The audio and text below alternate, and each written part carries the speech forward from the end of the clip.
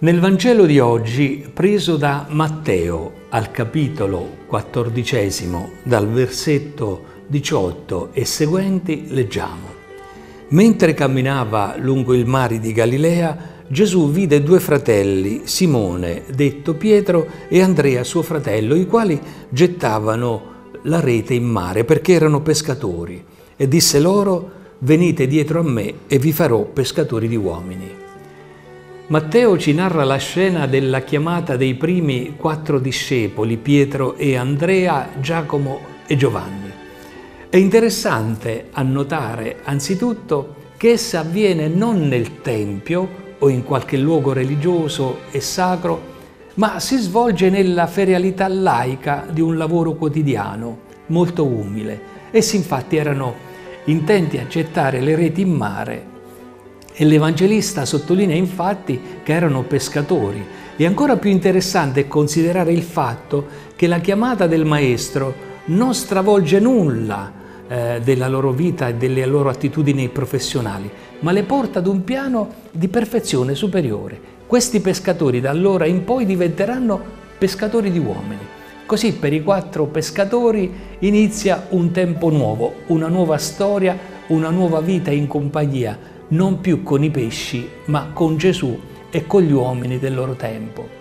Il Signore torna anche oggi lungo il mare delle nostre giornate e mentre ognuno di noi nel suo stato di vita particolare è ripiegato a riassettare le proprie reti, curvo sui dolori e le fatiche di ogni giorno, si sente rivolgere improvvisamente lo stesso imperioso invito di allora.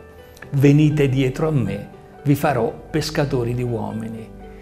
Il Vangelo annota che i quattro discepoli subito lasciarono le reti e lo seguirono. Il Signore viene anche nella nostra vita non per stravolgerla o mortificarla, ma per liberarla da tutte le reti inestricabili e ingarbugliate del mondo. La cosa che colpisce nel Vangelo è l'immediatezza con cui prima Simone e Andrea e poi Giacomo e Giovanni lasciato subito le reti e bar la barca, seguono Gesù. Gesù chiama dei fratelli. I suoi primi discepoli sono pescati da una fraternità. Li chiama insieme. Quando Dio passa nella nostra vita non dobbiamo farlo attendere, né dobbiamo misurare le nostre capacità. Se è Lui a chiamare, sarà Lui a renderci capaci di rispondere ai Suoi progetti. La chiamata dei discepoli è il primo passo del ministero pubblico. Senza di loro Gesù non può iniziare la sua missione. Gesù ha bisogno di uomini che condividono la sua missione.